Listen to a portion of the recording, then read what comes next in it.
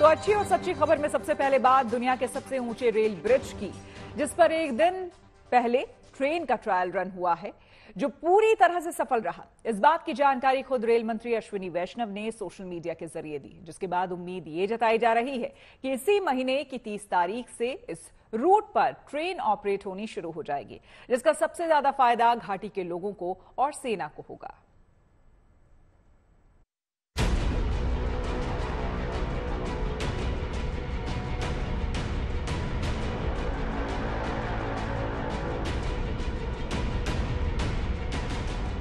दुनिया के सबसे ऊँचे रेल ब्रिज पर जब पहली बार ट्रेन का सफल ट्रायल किया गया तो ट्रेन में सवार रेलवे कर्मचारियों के चेहरे खुशी से खिल उठे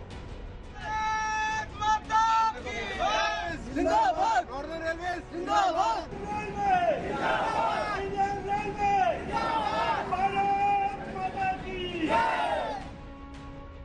ये एक सपने के साकार होने की खुशी है। ये इन कर्मचारियों की दिन रात की कड़ी मेहनत का नतीजा है, जिसके चलते पहले 16 जून को इलेक्ट्रिक इंजन का ट्रायल सफल रहा और अब मेमो ट्रेन को चिनाब ब्रिज पर दौड़ाया गया।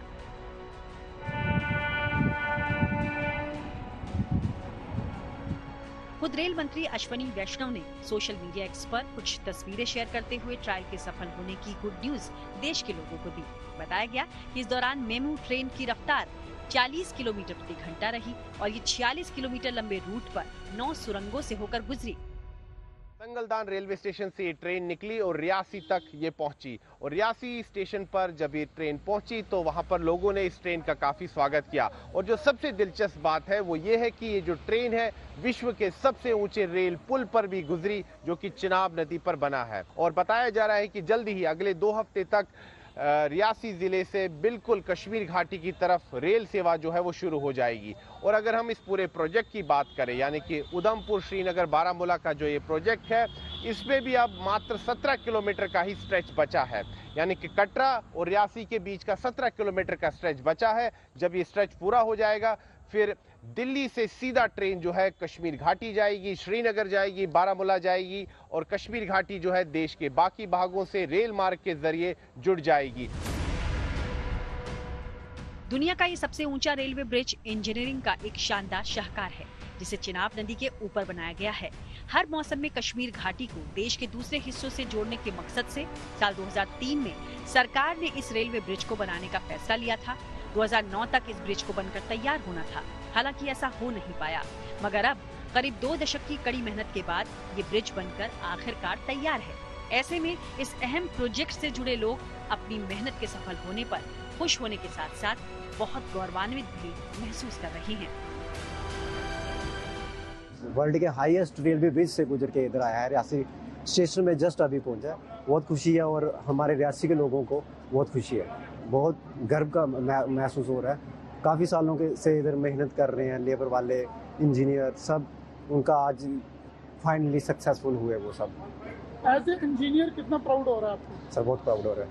बहुत सारे इंजीनियर्स अपने लेबर्स और अधिकारी कंसल्टेंट डिज़ाइनर ने अपना बहुत कुछ दिया है और आने पर ये बहुत खुशी की बात है और लोग बहुत खुश हैं, रियासी के लोग खुश हैं, बक्कल के लोग खुश हैं, कौड़ी के लोग खुश हैं, दुग्गा के लोग खुश हैं, संगलदान के लोग खुश हैं, सभी लोग खुश हैं। Udhampur Srinagar Baramulla rail link project के तहत इस रेलवे ब्रिज का निर्माण किया गया है, जिसे बनाने में करीब एक हज़ार चार सौ छियासी करोड़ की लागत आई है। और ये कई ऐसी खूबियों से लैस है, जो रेलवे के दूसरे पुलों में देखने को नहीं मिली। ये दुनिया का सबसे ऊँचा स्टील आर्च ब्रिज है, जो पेरिस के आईफिल टावर से भी 35 मीटर ऊँचा है। आईफिल टावर की ऊंचाई 330 मीटर है, जबकि चिनाब ब्रिज तीन मीटर ऊँचा है। इस पुल को मजबूती देने के लिए इसमें पच्चीस हज़ार मीट्रिक टन स्टील का इस्तेमाल हुआ है। साथ ही इसे जोड़ने के लिए विश्व स्तर की वेल्डिंग का इस्तेमाल किया गया है, ताकि ये रिक्टर स्केल पर आठ की तीव्रता वाले भूकंप और 220 किलोमीटर प्रति घंटा तक की रफ्तार वाली हवाओं को भी आसानी से सह पाए। बड़ी बात यह है कि ये ब्रिज 17 पिलर्स पर खड़ा है और इसे डीआरडीओ की मदद से ब्लास्ट प्रूफ बनाया गया है। यानी इस रेलवे ब्रिज पर ब्लास्ट का कोई भी प्रभाव नहीं पड़ेगा। ये एक मार्वल है, इंजीनियरिंग मार्वल है मॉडर्न डे वर्ल्ड का। ये जो पूरा ट्रैक ही है, ये जो टनल्स हैं, मुझे लगता है काफ़ी संख्या में टनल्स है। ये एक अपने आप में इंजीनियरिंग मार्वल है। प्राउड मोमेंट हमारे लिए ये है कि हमारे इंजीनियर्स ने इतना बड़ा मार्बल क्रिएट किया है। आज जैसे आपके एक साथी मुझे कह रहे थे, ये दुनिया का आठवां अजूबा ही है।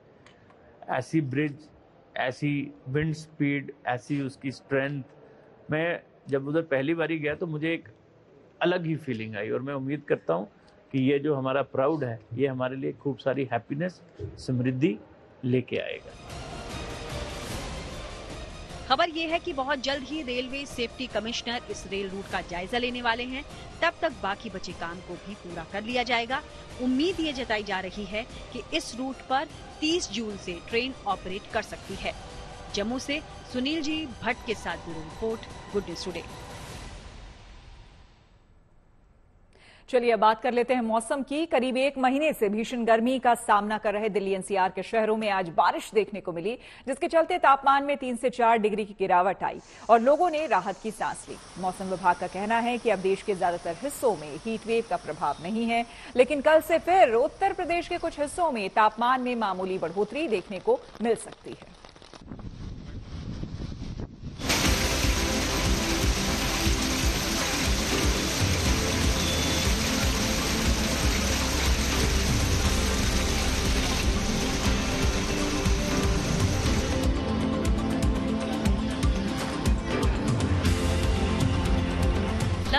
बाद दिल्ली एनसीआर के शहरों पर मौसम मेहरबान हुआ और आज आसमान से बारिश की बूंदें राहत बनकर बरसी।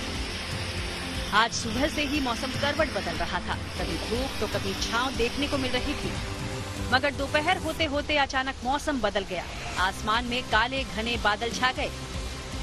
ठंडी ठंडी हवाएँ चलने लगी और फिर झमाझम बारिश ने दिल्ली एनसीआर के शहरों को भिगो दिया। दिल्ली एनसीआर में हुई झमाझम बारिश से लोगों को प्रचंड गर्मी से एक बार फिर से राहत ज़रूर मिली है। बुधवार रात को भी हल्की फुहार हुई थी, उसके बाद गुरुवार की सुबह लगभग पाँच डिग्री की गिरावट देखी गई थी तापमान में। लेकिन गुरुवार को बारिश की उम्मीद थी जो कि नहीं हुई, लेकिन शुक्रवार की शाम दिल्ली एनसीआर में ज़बरदस्त बारिश हुई है, इससे लोगों को राहत ज़रूर मिलेगी। मौसम विभाग का अनुमान है कि दिल्ली एनसीआर में मानसून 30 जून के बाद एंट्री लेगा मतलब दिल्ली एनसीआर वालों को 30 जून के बाद ही गर्मी से पूरी तरह से राहत मिल पाएगी।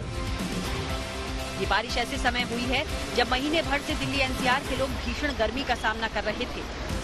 ऐसे में आज जब बादल बरसे तो लोगों के चेहरे खुशी से खिल उठे और उन्होंने राहत की सांस ली।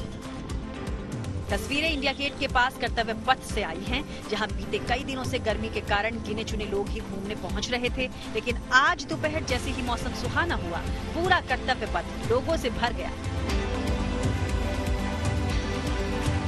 कोई दोस्त और रिश्तेदारों के साथ यहाँ मौज मस्ती करने पहुँचा तो कोई परिवार संग सुहाने मौसम का आनंद उठाने के लिए आया। बहुत राहत है। और दिनों तो भपका बहुत ज़्यादा था, जिसकी वजह से जो मतलब घूमने का इधर उधर जाने का मन नहीं था। लेकिन आज सुबह से मौसम ऐसा है कि हम घर से निकले, हम लोग को लगा कि दिल्ली घूमना चाहिए। हम पर्सनल कोई किसी और काम से आए थे। लेकिन आज मौसम देखा तो हमको लगा कि इंडिया गेट जो है उसको देखना चाहिए वहाँ का नज़ारा देखना चाहिए। तो हम लोग सभी परिवार के साथ इधर को आ गए और बहुत अच्छा मौसम है। राहत का तो सर मत पूछिए जो दो तीन दिन पहले जो था मौसम उसके हिसाब से आज का मौसम बेस्ट है मोस्ट पिछले महीने भर के बाद ऐसा लगा कि आज बाहर निकलने का थोड़ा सा समय मिला। नहीं तो घर के अंदर और घर से बाहर तो निकलने का बिल्कुल नहीं था। टेम्परेचर गर्मी बहुत ज़्यादा। कुछ लगा कि आप निकलने का समय मिला बारिश आई ठंडा मौसम मिला तो निकले। एंजॉय एंजॉय कर रहे हैं? बहुत सर बहुत कहते रहे कम से कम पैता फोर्टी फाइव फिफ्टी डेज़ बाद ऐसा लगा कि घर से बाहर निकलना चाहिए। थोड़ी राहत मिलेगी आराम से मिलेगा। लोग परेशान हो रहे थे दिल्ली में गर्मी की वजह से।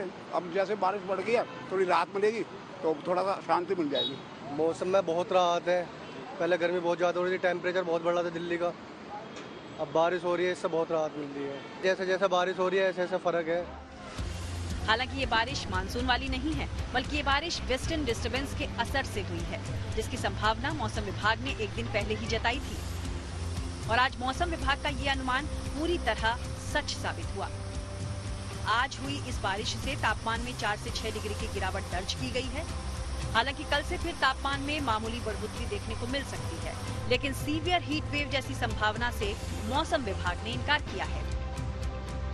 अभी हीट वेव का स्थिति पूरा नॉर्थ इंडिया से ही काफ़ी कम हो चुकी है। कल हमारा हीट वेव का टेम्परेचर्स के बेसिस पे हीट वेव का जो रिपोर्ट मिला है, वो एक दो इलाका उत्तर प्रदेश का छोड़ के बाकी पूरा देश में ही हीट वेव का कोई रिपोर्ट नहीं आया। ये पश्चिम वेस्ट नॉर्थ वेस्ट इंडिया में ये हुआ है एक स्ट्रांग वेस्टर्न डिस्टरबेंस आने के कारण से, जिसके चलते अरेबियन सी से मॉइस्चर आपका नॉर्थ वेस्ट इंडिया की तरफ़ आ रही है, जिसके जिसमें बादल बन चुकी है, कई इलाके में बारिश भी हुई है, और ये बादल के कारण से टेम्परेचर चार से छह डिग्री ड्रॉप हो चुकी है, सारा देश हीट वेव से निकल चुकी है। मौसम विभाग के अनुसार मानसून के अभी दिल्ली पहुँचने में थोड़ा वक्त बाकी है, लेकिन बीते कुछ दिनों से सुस्त पड़ा मानसून अब देश के पूर्वी और पश्चिमी राज्यों में रफ्तार पकड़ चुका है, और तेज़ी से आगे बढ़ रहा है। ईस्टर्ली फ्लो स्ट्रेंथन हो रही है। साउथ वेस्ट मानसून का जो ईस्टर्ली फ्लो बंगाल की खाड़ी से नॉर्थ वेस्ट इंडिया की तरफ़ जाती है वो स्ट्रेंथन हो रही है। वो स्ट्रेंथन होने के कारण से हमारा आज भी मानसून एडवांस हो चुकी है।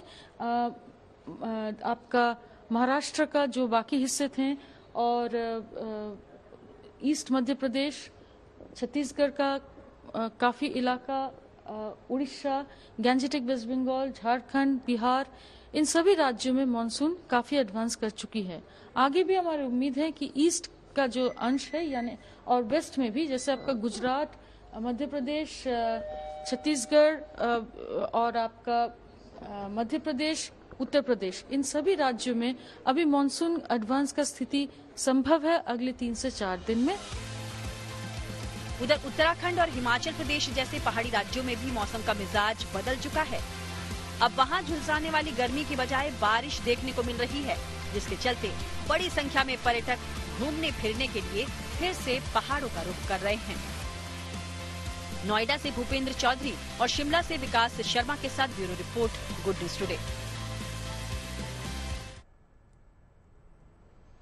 और अब बात आस्था के मार्ग पर सुविधाओं के साथ की कर लेते हैं। दस मई से चारधाम यात्रा चल रही है। महज बयालीस दिन में रिकॉर्ड चौबीस लाख साठ हज़ार से ज़्यादा श्रद्धालु दर्शन कर चुके हैं, जिनमें सिर्फ़ दस लाख श्रद्धालु तो केदारनाथ धाम पहुँच चुके हैं। श्रद्धालुओं की बढ़ती संख्या में सरकार की तरफ़ से दी जा रही सुविधाओं का भी बड़ा योगदान है। उत्तराखंड की पुष्कर सिंह धामी सरकार हर स्तर पर लगातार ये कोशिश कर रही है। चारधाम यात्रा पर आने वाले श्रद्धालुओं को किसी तरह की कोई परेशानी न हो। इसके लिए चारधाम यात्रा के शुभारंभ से पहले ही यात्रा पर पेयजल से लेकर ठहरने और खाने पीने का प्रबंधन कर दिया गया था, जिसकी वजह से कई घंटों के सफ़र के दौरान श्रद्धालुओं को कम दिक्कत होती है। चारों धाम, केदारनाथ, बद्रीनाथ, गंगोत्री और यमुनोत्री पर श्रद्धालुओं की संख्या को देखते हुए सुविधाओं को बढ़ाया जा रहा है। और इसी कड़ी में आपको बता दें कि केदारनाथ धाम में प्रशासन की तरफ़ से एक बड़ी एलईडी टीवी लगाई गई है, जो ठीक मंदिर के सामने ही लगा दी गई है। इस एलईडी टीवी की लंबाई 10 फीट और चौड़ाई 20 फीट है। जिस पर गौरीकुंड से केदारनाथ तक 16 किलोमीटर के लंबे पैदल मार्ग के मौसम की जानकारी दी जा रही है। एलईडी टीवी पर बाबा केदार के धाम आने वालों, श्रद्धालुओं को वहाँ मौजूद रहने के दौरान खुद को कैसे स्वस्थ रखना है, इसको लेकर भी ग्राफिक्स के ज़रिए उन्हें बताया जा रहा है। भीड़ प्रबंधन के लिए केदार धाम पहुँचने वाले श्रद्धालुओं को कतार में ही गर्भगृह तक जाने की इजाज़त होती है। इस वजह से श्रद्धालुओं को अपनी बारी के लिए लंबा इंतज़ार भी करना पड़ता है। इसी वजह से समय समय पर टीवी पर बाबा केदार के भजन भी प्रसारित किए जा रहे हैं। इसी एलईडी टीवी पर केदारनाथ मंदिर के इतिहास के बारे में भी जानकारी दी जा रही है। आपको बता दें, जिसे धाम का माहौल लगातार भक्तिमय बना हुआ है चार धाम यात्रा में सबसे मुश्किल सफ़र केदारनाथ धाम की ही मानी जाती है। इस धार्मिक यात्रा में सबसे ज़्यादा चुनौती पैदल मार्ग में ही आती है। इस ट्रैक में आमतौर पर छह से आठ घंटे लग जाते हैं। ज़्यादातर यात्री सुबह ही यात्रा शुरू करते हैं ताकि वे दिन के समय ही केदारनाथ पहुँच सके। ऐसे में सरकार और प्रशासन की भी कोशिश रहती है कि केदारनाथ आने वाले श्रद्धालुओं के लिए सुविधाओं पर ज़्यादा से ज़्यादा फोकस हो। मंदिर प्रांगण में एलईडी लगने से पहले वहाँ हाल में कोई और तरह की यात्री सुविधाओं को जोड़ा गया है। आपको बता दें, पहले धाम में आस्था पथ निर्माण किया गया, जिस पर श्रद्धालुओं को तेज धूप, बारिश और बर्फबारी से बचाने के लिए शेड लगाया गया। इसके अलावा आस्था मार्ग पर यात्रियों के लिए पत्थर से बैठने के लिए अलग से जगह बनाई गई, जो कि गौरीकुंड से केदारनाथ तक 16 किलोमीटर का लंबा पैदल मार्ग तय करने वाले श्रद्धालुओं के लिए बड़ी राहत की तरह साबित हो रही है। चलते चलते थक जाने पर वो उस पर बैठकर आराम भी कर सकते हैं। अगर लाइन आगे नहीं बढ़ रही है तो इंतज़ार कर सकते हैं। इस समय हम केदारनाथ मंदिर परिसर में मौजूद हैं। आप देख सकते हैं कि केदारनाथ भगवान के दर्शनों के लिए तीर्थ यात्रियों की लंबी लाइन लगी हुई है। सुबह से ही तीर्थ यात्री यहाँ पर लाइन में लगकर बाबा केदार के दर्शन कर रहे हैं। तीर्थ यात्रियों को दर्शन करने में कोई दिक्कत न हो। इस बार प्रशासन ने एक नई व्यवस्था शुरू की है। पहले बारिश और बर्फबारी होने पर तीर्थ यात्रियों को लाइन में लगने में भारी दिक्कत होती थी। लेकिन इस बार यहाँ पे प्रशासन ने आस्था पथ पर रेन शेल्टर का निर्माण किया है। आप देख सकते हैं कि जो रेन शेल्टर बनाए गए हैं, इनके नीचे यात्री बारिश, धूप, ठंड से बच रहे हैं और लगातार दर्शन करते आ रहे हैं। सबसे बड़ी बात केदारनाथ में इस बार यह देखने को मिली है कि मंदिर 24 में से 23 घंटे खुला है और लगातार बाबा केदार के दर्शन हो रहे हैं। दोपहर के समय सिर्फ़ 12 से 1 बजे तक मंदिर बंद हो रहा है। और उत्तराखंड के रुद्रप्रयाग ज़िले में मौजूद केदारनाथ धाम को 12 ज्योतिर्लिंगों में से एक माना जाता है, जिसकी सबसे बड़ी विशेषता केदारनाथ मंदिर में स्थापित शिवलिंग का स्वयंभू होना है। शिव पुराण के मुताबिक केदारनाथ में विराजमान स्वयंभू शिवलिंग की पूजा करने के बाद जो व्यक्ति जल ग्रहण कर लेता है, उसे दोबारा जन्म नहीं लेना पड़ता है।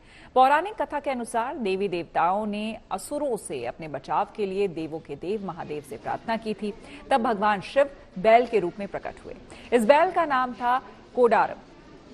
बैल में असुरों का नाश करने की शक्ति थी। बैल के खुरों और सींग ने उनका नाश किया, जिन्हें प्रभु ने मंदाकिनी नदी में फेंक दिया था। इसी कोडारम बैल के नाम पर केदारनाथ का नाम पड़ा है। शास्त्रों में ये भी ज़िक्र किया जाता है कि सबसे पहले केदारनाथ मंदिर का निर्माण पाँचों पांडवों ने किया था, लेकिन वो समय के साथ विलुप्त तो हो गया। इसके बाद आदि गुरु शंकराचार्य जी ने इस मंदिर का पुनर्निर्माण करवाया था। मंदिर के कपाट साल के छह महीने के लिए खुलते हैं और छह महीने के लिए बंद रहते हैं। चारधाम यात्रा पर आने वालों के लिए रजिस्ट्रेशन करवाना ज़रूरी है। बिना पंजीकरण श्रद्धालु चारधाम यात्रा पर नहीं जा सकते। इस पर हर दिन रजिस्ट्रेशन के लिए लिमिट तय किया गया है, जिसे अब खत्म कर दिया गया है। कई हफ्तों तक भक्तों की भारी भीड़ को देखते हुए अभी तक रजिस्ट्रेशन लिमिट की वजह से श्रद्धालुओं को काफ़ी दिक्कत हो रही थी। पंजीकरण के लिए आधी रात से ही श्रद्धालु लाइन में लग जाते थे। ऐसे में अब पंजीकरण काउंटर्स पर श्रद्धालुओं के अनलिमिटेड रजिस्ट्रेशन की व्यवस्था की गई है। अब श्रद्धालुओं के लिए सुबह सात बजे से शाम सात बजे तक काउंटर्स पर अनलिमिटेड पंजीकरण कराए जाने की व्यवस्था की गई है। और अब आपको उत्तराखंड के मुख्यमंत्री पुष्कर सिंह धामी के भक्ति भाव से जुड़ी तस्वीर हम दिखाते हैं। सीएम धामी ने पिथौरागढ़ के पार्वती कुंड के पास बैठकर शक्ति पूजा की, जो कि आदि कैलाश की चोटी के पास चार मीटर की ऊंचाई पर स्थित एक पवित्र कुंड, यानी कि झील है। यहाँ की आध्यात्मिकता और सकारात्मक आभा बेजोड़ मानी गई है। आदि कैलाश के सामने बने इस पार्वती कुंड को लेकर मान्यता है कि ये पूरी दुनिया में दूसरी सबसे ऊँची झील है। ये वही स्थान है जिसको लेकर ये भी मान्यता है कि यहाँ देवी पार्वती ने अपने पुत्र गणेश को प्राप्त किया था। इसलिए पवित्र पर्वत आदि कैलाश की यात्रा में भी पार्वती कुंड का पौराणिक महत्व है। आपको बता दें कि अंतर्राष्ट्रीय योग दिवस के मौके पर पुष्कर सिंह धामी इसी स्थल पर मौजूद थे। और यहीं आपको बता दें कि कुछ समय पहले प्रधानमंत्री नरेंद्र मोदी भी पहुँचे। हालाँकि ये जो स्थान है काफ़ी दुर्गम है और उत्तराखंड सरकार लगातार कोशिश कर रही है जिस तरह से चारों धाम, यानी कि गंगोत्री, केदारनाथ, बद्रीनाथ में श्रद्धालु आते हैं और दर्शन करते हैं, उसी तरह से आदि कैलाश और इस स्थान पर पिथौरागढ़ में लोग पहुँच सके और यहाँ भी देवी पार्वती के दर्शन कर सके, उसके लिए भी पूरी कोशिश की जा रही है। लगातार मार्ग बनाने से लेकर के यहाँ तक किस तरह से श्रद्धालु पहुँच पाएँगे, क्योंकि ये बेहद दुर्गम है और यहाँ पर ऑक्सीजन की भी कमी महसूस होती है, क्योंकि ऊंचाई काफ़ी ज़्यादा है। देख रहा है विनोद, तुम जीएनटी पर आ रहे हो। नहीं समझे ना? तो चलिए अब हम आपको समझाते हैं। वेब सीरीज़ पंचायत के विनोद को तो आप जानते ही होंगे। इस वेब सीरीज़ के पॉपुलर कलाकारों में से एक विनोद मतलब कि अशोक पाठक। आज अशोक पाठक जीएनटी पर हैं और इनसे बातचीत की हमारी सहयोगी धर्मेंद्र दुबे ने। देखी ये रिपोर्ट इस समय हमारे साथ मौजूद हैं अशोक पाठक जी, जो पंचायत का जो पार्ट थ्री है, उस समय विनोद के किरदार में खूब सुर्खियाँ बटोरी हैं। सबसे पहले तो आपको दो चीज़ों के लिए बधाई, पंचायत थ्री के लिए स्पेशली और दूसरा, कान फेस्टिवल से आप लौटे हैं। तो जरा कान के बारे में पहले बताएँ, वहाँ से शुरू करा जाए। जी, नमस्कार। बहुत बहुत धन्यवाद। कान फ़िल्म फेस्टिवल में मेरी एक फ़िल्म थी सिस्टर मिडनाइट जो कान फ़िल्म फेस्टिवल में डायरेक्टर फोर्ट नाइट करके एक सेक्शन होता है उसमें वो फ़िल्म दिखाई गई उसका वर्ल्ड प्रीमियर हुआ। और ये एक अद्भुत बात थी मेरे लिए क्योंकि उसमें मैं मुख्य भूमिका में हूँ मैं हूँ और राधिका जी हैं राधिका आप्टे। और मुझे लगता है राधिका आप्टे जितनी बेहतरीन अभिनेत्री हैं ये उनका सबसे अब तक का बेस्ट काम है इस फ़िल्म में सिस्टर मिडनाइट में। तो ये अपने आप में ये गदगद करने वाली चीज़ थी कि मतलब हम कान फ़िल्म फेस्टिवल में शिरकत कर रहे हैं। मतलब ये खुशी का ही मौका है और आ, मैंने कभी ज़िंदगी में सोचा नहीं था कि मैं वहाँ तक मतलब नहीं इमेजिन किया था यार कि अब मैं वहाँ आऊँगा और मेरी फ़िल्म वहाँ पे वर्ल्ड प्रीमियर होगा उसका और वहाँ देखी जाएगी जहाँ पे लोग चाहते हैं कि उनकी फ़िल्म दिखाई जाए देखी जाए। तो ये वाकई मैं ईश्वर का धन्यवाद करता हूँ इस चीज़ के लिए। वाकई में राधिका आप बेहतरीन अभिनेत्री हैं बॉलीवुड से और आप उनके साथ लीड में आ, हुए हैं। तो बड़ी कितने दिन थे वैसे कान में आप? अब मैं चार दिन रहा मैं वहाँ पर। और वगैरह हाँ? मतलब आ, वो ऐसी दुनिया ही है मतलब वो कह सकते हैं कि सिनेमा का एक तीर्थ स्थल है, मक्का मदीना कह सकते हैं तीर्थ स्थल कह सकते हैं कि जो भी आर्टिस्ट हैं और चाहे जो भी सिनेमा प्रेमी हैं तो वो जगह कमाल की है। वहाँ मतलब देखना कि लोग, दुनिया भर के लोग वहाँ सिनेमा देखने के लिए आते हैं, सिनेमा वहाँ दिखाया जाता है और आप बेहतरीन सिनेमा देखते हैं तो वो बहुत अद्भुत जगह है वो। तो सबसे ज़्यादा खुश आप किस बात से हैं? पार्ट थ्री आपकी जो पंचायत है वो सुपर हिट हो गई है या कान में आपकी फ़िल्म जो है लगाई गई है और बड़े चाव से बुलाया गया आप देखे हैं। सबसे ज़्यादा खुश किस बात से? आ, यार दो पंचायत तो दूसरा सीज़न आया था तभी भी मैं बहुत खुश था क्योंकि उस टाइम वो किरदार बहुत आ, लोगों ने बहुत पसंद किया लोगों ने बहुत प्यार किया। इस बार नया ये हुआ कि फ़िल्म फेस्टिवल में शिरकत हुई वहाँ पर फ़िल्म दिखाई गई और आप जब एक मुख्य किरदार में होते हो और उस तरीके से बहुत सारी चीज़ें बदल जाती हैं जब आप एकदम मुख्य किरदार में हो और कहानी के एकदम मेन पार्ट में ज़्यादा क्या बदल गया जो आप फील करते एकदम ईमानदारी से बताइए सच में आपके जीवन में सबसे ज़्यादा क्या बदल गया इस सफलता के बाद? मेरे जीवन में मतलब ईश्वर पे मुझे और भरोसा बढ़ गया। कि जब आप बहुत लगन से और मेहनत से कोई काम करते हो ना जिस चीज़ को पाने के लिए वो चीज़ आपको मिलती ज़रूर है। तो चाहे फिर आप उसके बारे में सोचें या ना सोचें अगर आप अपना काम बहुत बेहतरीन ईमानदारी और मेहनत से कर रहे हैं तो चीज़ें ना चाहते हुए भी आपकी तरफ़ आ जाएँगी और वो होगा। तो मैं अभिनय सोचता हूँ तो वो अभिनय की वो सारी चीज़ें आती ही रही और आ रही हैं। आप कभी गायक बनना चाहते थे। अब अगर कुछ अगर सुनाना हो गुनगुनाना हो एक आक लाइन भले वो पंचायत से ही संबंधित हो तो या आपके दिल के आसपास तो एक थोड़ा मज़ा आ जाए अरे ऐसे तो मैं वैसे मुझे कुछ याद नहीं आ रहा है लेकिन हाँ मुझे एक रफी साहब का हाँ। रफी साहब का एक गाना मुझे बहुत पसंद था जो मैं बचपन में गाता था कभी कभी स्टेज पे कि दिल का सोना साज तराना ढूंढेगा तीर निगाहें नाज निशाना ढूंढेगा।